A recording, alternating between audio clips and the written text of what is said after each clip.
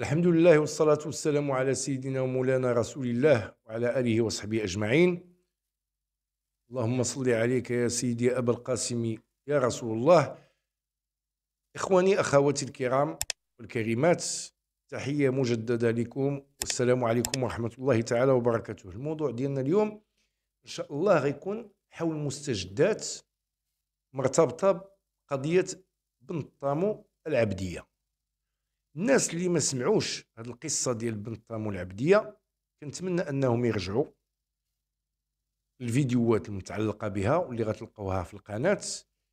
هذه واحد السيدة اللي كانت حاولت أنها تعرض واحد السيد عن طريق الزوجة ديالو لمكروه عن طريق التسميم إلى آخره وداكشي ديال الشعوذه هضرنا عليها قلنا أن كانت عندها علاقة عن طريق شي واحد بنت اختها. تشتغل في الجسم القضائي. كانت عندها علاقات ومن بين الناس اللي كانت عندها علاقات معهم القاضي اللوسكي المعتقل. هضرنا وهضرنا وهضرنا عليه وخدينا تصريحات ديال الدكتور حسن خليلي الضحية في هذه القضية كاملة.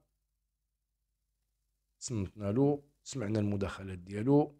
عرفنا من خلاله اش وقع المساطير وفي الشكايات اللي قدمها إطار الامتياز القضائي بمجموعة ديال القضاة والناس اللي حروا المحاضر إلى آخره. الجديد في هذه القضية الجديد في هذه القضية ما نهضروش على التهديدات اللي كان كيتعرض لها من طرف الزوج ديال بنت العبديه أو من طرف بعض الأقارب ديالها أو المحسوبين عليها. نهضروا اليوم على ولد واحد ولد أختها. ولد اختها اللي اختو قاضية.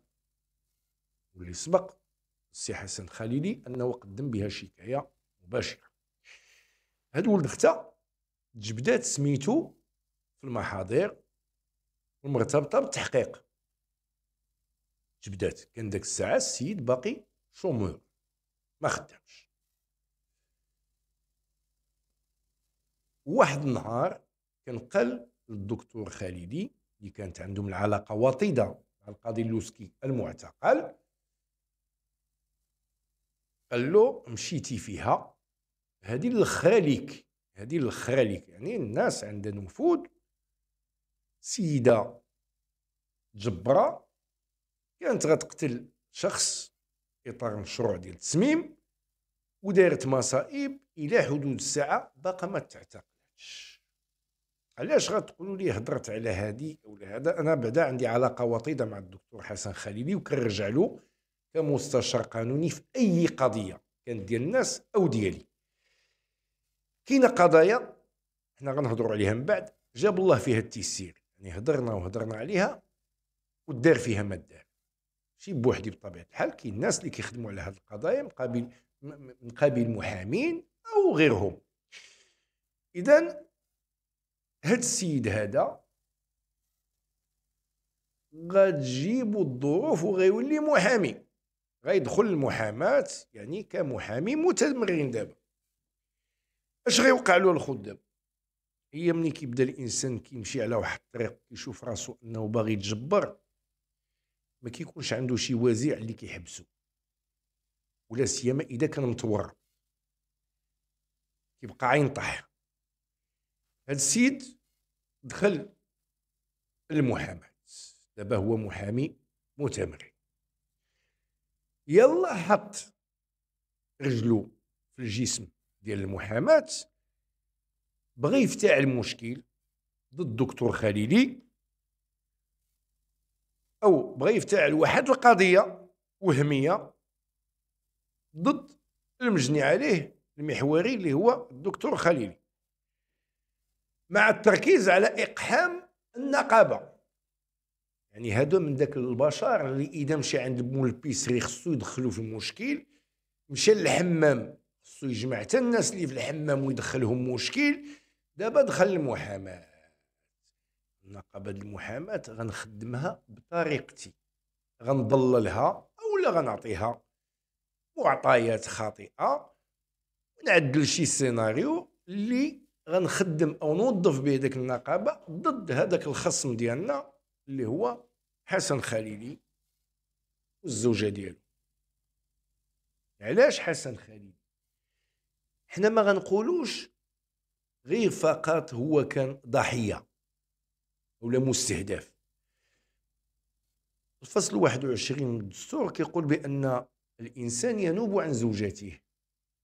هذا نص دستوري أن الإنسان ينوب على وليداته وعلى الزوجة ديالو واخ الزوجة ديالو ما كتعرف ما دير هو كيدير كلشي في بلاصتها. وبمقتضى واحد وكالة. زيادة عن النص الدستوري كاين وكالة.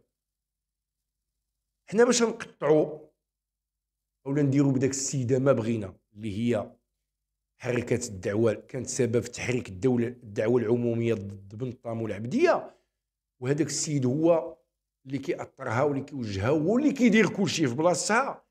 حنا خصنا نهرسوا هذاك السيد اللي مثلا راجلها ولكن محتمية به من الجانب القانوني حنا نهرسوه ونخليوها نديروا بها ما بغينا وغنضربوا لها الدعوة على الأساس.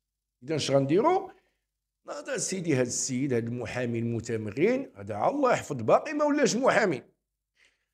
قال لك سيدي بأن كاين محامين في الدار البيضاء كينتحلوا الصفه ديال المحامي عفوا. كاين ناس في الدار البيضاء ماشي محامين كينتحلوا الصفه ديال المحامين في إشارة للدكتور حسن خليلي. ونعاود نقول أنه حاصل على الدكتوراه في القانون الجنائي ومستشار قانوني. مستشار قانوني. هو بغى يركب واحد القضية للسي حسن بأنه ينتحل صفة محامي علما أن السي حسن هو ماشي محامي ولكن مستشار قانوني. كيلجؤوا عنده الناس الدراسة ديال القضايا ديالهم وكذلك بعض المحامين.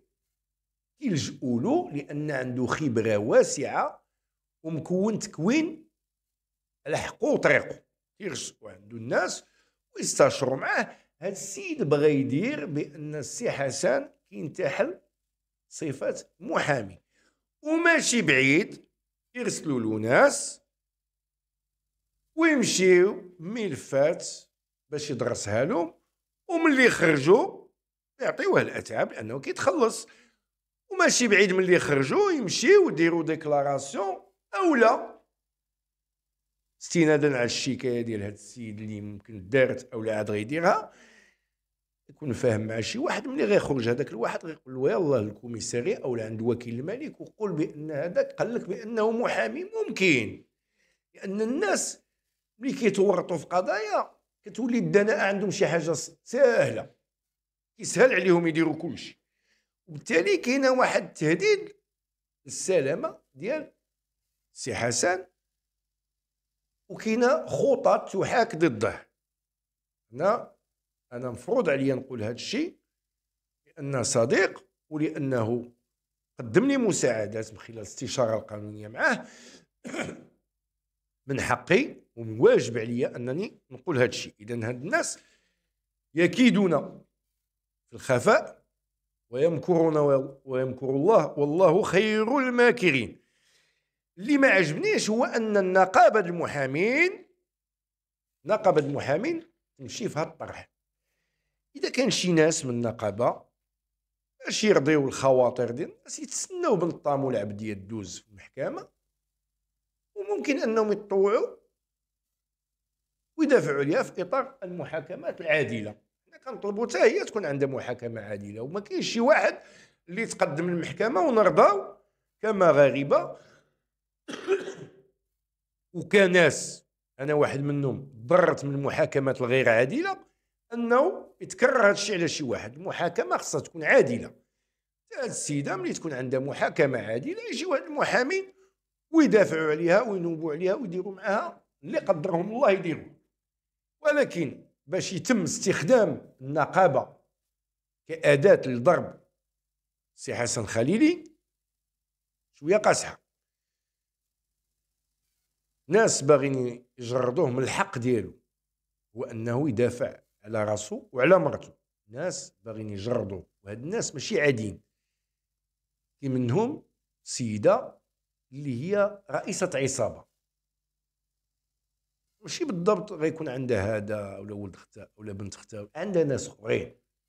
عندها ناس أخرين اللي كيخدموا معاها واللي عملوا كوارث وهضرنا عليها والسي حسن هذا الشيء راه كاين عنده موثق وغاسلوا الأجهزة القضائية إلى آخره والمفتشيه العامة ديال ديال المجلس الأعلى السلطه القضائية ومجموعة ديال ديال المراكز والديوان الملكي ما خلا فين كتب إن هذه السيدة كتشكل عصابة. وبالتالي هاد العصابة باغا تحرم السيد إنه يدافع على مرته وبالتالي باش تحرمو هي خصها تلفق له تهمة. هاد المكيده خصها تركب وللأسف تم استعمال هاد الهيئة ديال المحامين باش تكون هي السبيل والوسيلة ديال ديال هاد الناس باش يهرسوا هاد السيد.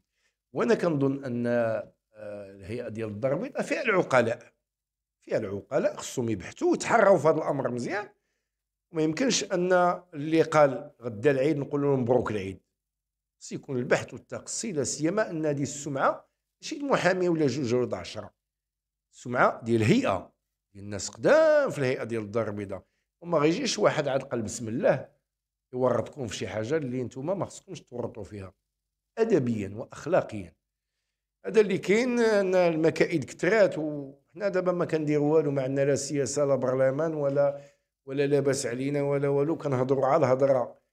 كاميرا ديال التليفون وميكرو بجوج فرانك والناس كتحفر لنا بالليل والنهار إذا هضرتي على شي حاجة راك أنت غير مرغوب فيك وراك أنت مستهدف.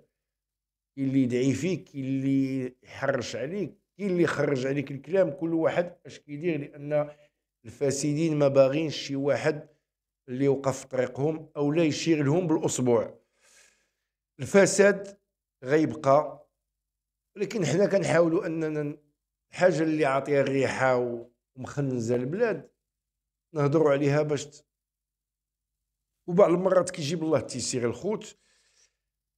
قضية ديال السيدة اللي الدولة الأرض ديالها هنا غنتقل للقضيه الاخرى لكم في الأول أن كاين قضايا جاب الله فيها التيسير. ماشي داكشي اللي كنا كنترجاو وكنطلبوا وكناملوا كياملوا المظلومين. ولكن على الأقل تحركت القضية. لهذا غنرجع للدكتور خليل نقول له أن كنتمنى أن السلطات تدخل والناقب ديال هيئة الدار البيضاء ما يزلقش هذه الزلقة من خلال آه، الدفاع على هذا المحامي اللي باغي يورط النقابة. من خلال هذه التصريحات ديالو ماشي ما كنقولش يورطهم في الكريديات مع مع مع صندوق النقد الدولي. أنا كنقول غيورطهم من خلال أنهم يتبناو هذه القضية ويخرجوا واحد الطريق اللي ماشي ماشي سليمة.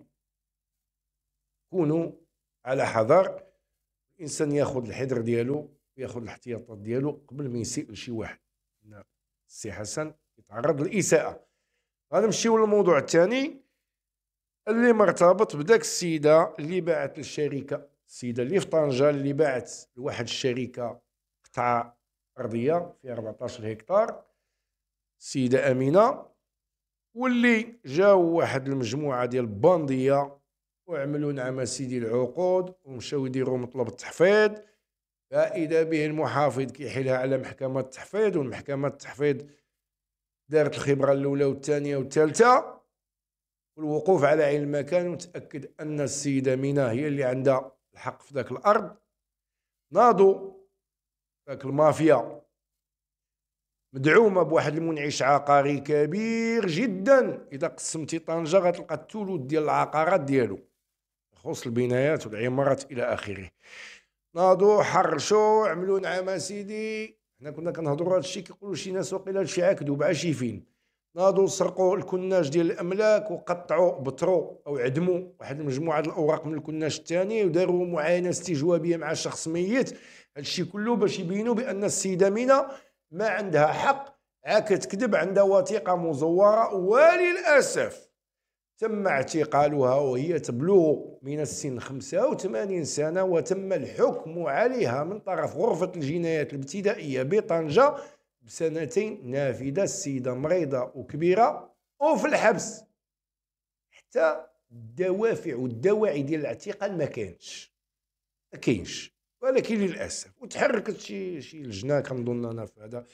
الجديد في القضية الجديد في القضية الجديد في القضية هي أن ذاك المنعش عقاري اللي سميتو كتخلع في طنجة تمت متابعته بتكوين عصابة إجرامية. زيد هو ومجموعة ديال الشركاء ديالو منهم داك الورثة اللي نصبوا راسهم على أساس أنهم مالين داك الأرض. ويمكن كاين شي وحدين أخرين أنا اللائحة ما عنديش عاد غنتوصل بها. اللائحة ديال المتابعين. المهم هذاك المنعش العقاري اللي كيخلع عباد الله راه تابع ولو في حالة صراحة. السيد معروف عنده ضمانات ديال الحضور عطاوه حالة صراحة ما نقولوش علاش. رغم أن الجرائم خطيرة. تعطاه الصراح ولكن متابع في اطار تكوين عصابة إجرامية والترامي على ملك الغير؟ والتزوير وزيد وزيد وزيد اذا دابا المرحلة الثانية كنتمنى أن الغرفة الجريمه الاستئنافية في طنجة طلق الصراح ديال داك السيد. لأن خطأ قضائي فادح يسيء لسمعة المغرب ولسمعة القضاء وكيعزز عدم الثقة في القضاء. باش الإنسان مظلوم ويجي واحد عنده الفلوس ويجي واحد عنده المعارف ويجي واحد يلقى الفاسدين اللي يعاونوه. ها اللي سرق هذاك الملف شكون اللي سرق ذاك الملفات؟ واش هذه المحطة؟ الكناج ديال الأملاك يطير كامل. واحد يتقطعوا منه الوراق. داك الناس اللي في ذاك الكناج الأملاك مساكن ملي بغاو يجيو يخرجوا شي رسم مين غيجيبوه والكناج طار شكون اللي كيتحمل المسؤولية؟ خصو هنا السي وهبي اللي كيهضر خصو يقدم استقالته على هذه أن المحكمة تسرقوا منا كنانش. وهذاك كاتب الضبط أو المسؤول عن ذاك القسم خصو يتحاسب. كلشي خصو يتحاسب لأن هذه ماشي المحطة المحطة فيها الكونسين مستودع ديال ديال الحويجات. أنت تجي وطير كنانش. وداك الكنانش تبارك الله كناش يا كناش. والآخر تقطعوا منه ومع الآخر تسمى السيدة مزورة وديوها للحبس. بزاف على هذا الظلم. هادشي راه ما كانش حتى عهد الجاهلية هادشي ايامات الرومان والإغريق وما شكون ما كاينش هاد الظلم هذا. الله يا ودي السيده 85 عام تلوحوها في الحبس الآخر اللي عطيها الشركة اللي عطيها مليار والصرف. مشات لها وشكون اللي غيحمي الحقوق ديال الناس؟ دابا يولي الإنسان يخاف؟ غيسمعنا شي مستثمر يقدر يجي يستثمر هنا. يقول لك السيدة ارضها واللي شرى من عنده مشات له الفلوس وهي ارضها مشات للحبس كي داير هادي إذا ولكن لا الحمد أن بعد ذاك المنعش عقاري أنه داز فيه ال train داز فيه ال train وفي القريب إن شاء الله منين نشد هذا نهضر عليه طاي طاي. أنا كاين ب... وداير مصائب. مصائب دايرهم ونقول لكم للإشارة أنا ملي هضرت على هذا الموضوع حاول واحد السيد أنه يستدرجني وزعما ي... قال لك يعطيوني شي معطيات نهضر عليها. مقابل طبيعة الحال غيكون المقابل ولكن أنا وعدت الله قبل ما نوعد شي واحد أن ما نبيعش راسي ما نبيعش راسي وما نديرش شي حاجة للحرام أنا غادي على الدرب والله واخا نعيش بالجوع والله ما ندير شي حاجة للحرام وما نبيعش ضميري وما نبيعش راسي. أنا دابا كنكسب وجهي ما عندي لا فلوس ولا حتى حاجة عايش على باب الله ولكن عندي أهم ما يمكن يملك الإنسان هو كرامته هو وجهه. هو وجهه وكرامته. هذا اللي كاين الخوت كنتمنى دائما أن نقدر نوفي بعض المواضيع حقها ولكن آه، الظروف المرضية هي اللي حالت دون استكمال الرحلات أو القصص أو القضايا ديال الناس أن كاين اللي عنده قضية وكاين اللي عنده قصة صراحة ما كتبقاش قضية. ملي كيولي يعيشها الإنسان بالليل والنهار هو ناعس كيحلم بها ويمشي يهضر عليها في القهوة ويهضر عليها مع ولادو ما كتبقاش قضية وإنما كتولي قصة. تروى الأبناء ويمكن حتى الأحفاد حيت كاين ناس وصلوا حفايدهم وباقي حقهم ما خداوش ماشي هضروا مع ولادهم هضروا مع حفايدهم وباقي حقوقهم ما لقاوهاش لأن عندنا واحد المجموعة للأسف ديال الفاسدين اللي كيزيدوا كل نهار كيتزاد العدد ديالهم. ما غنقولوش أن كل شيء فاسد. كاين الناس أمة سيدنا محمد عليه الصلاة والسلام عمر الخير ما غيتقطع منها. هذه بالتأكيد. ماشي أنا اللي كنقولها. سيدنا محمد أكد على أن الخير ما يتقطعش من الأمة ديالو. كاين الفساد كثير وعلاش؟ يقولوا أن القابض على الدين كالقابض على الجمرة في هذا الوقت ديالنا. علاش بالضبط في هذا الوقت ديالنا؟ ان كثر فيه الفساد. كثر الفساد غيولي الاستثناء ماشي هو الفساد الاستثناء هو ذاك الإنسان اللي داخل راسو وما كيعملش الحرام وما كيعملش ما يغضب الله وما يغضب القانون. هذا هو المشكل. ولكن باقي باقي الامل في امه سيدنا محمد لعل وعسى أن الفساد يزيد يتفضح ولعل وعسى أن الفاسدين ياخذوا الجزاء ديالهم وما يلقاوش اللي باقي يحميهم. اللهم افضح الفاسدين في كل مكان وزمان. باش يتفضحوا وما يبقى حتى واحد يقدر يغطي عليهم. اللي يبغي يغطي عليهم يعرف راسو حتى هو غيتجلخ بالذي لا يذكر وغيتشوه وما غيبقى عنده وجه لا مع عائلته ولا مع المجتمع. وعاد إن شاء الله هذوك الفاسدين يا ربي يوديو لهم الممتلكات ديالهم يبقاو مقردين. الرجوع إلى الأصل أصل. وبنادم كان مكرد.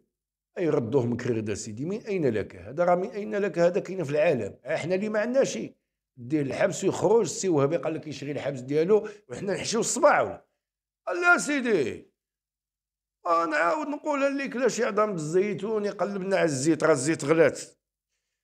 إخواني أخواتي تحياتي لكم جميعا وإلى حلقة مقبلة إن شاء الله. السلام عليكم ورحمة الله وبركاته.